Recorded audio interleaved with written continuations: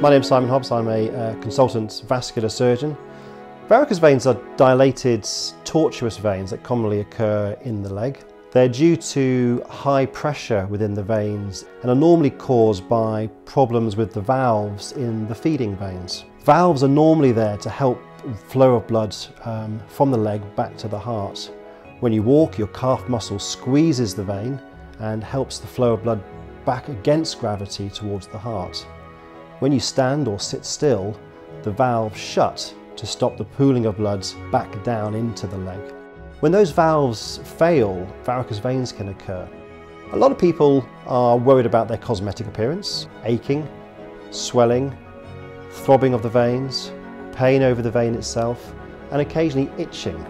A lot of people find that these symptoms are worse towards the end of the day when they've been on their feet all day. In more severe cases, people can get complications of their varicose veins, and this may include bleeding, thrombophlebitis, which is clot formation within the varicose veins themselves, which can lead to a quite a tender, painful red lump over the vein.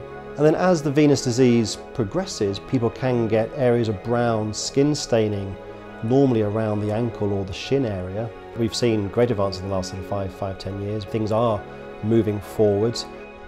So one of the main advantages for, for with these newer techniques is to get it out of the operating theatre into a treatment room or a procedure room, which is much less daunting for people. It's great to have people awake under local anaesthetic. It's, it's one of the greatest advances in medicine in the last sort of 50 years. Um, the ability to be able to speak to the patient, have music in the background playing. It's, it's a nice, relaxed, informal atmosphere. And the benefit for the patients is that they can arrive half an hour beforehand and leave half an hour afterwards. It truly is a sort of a walk-in, walk-out procedure with very little downtime.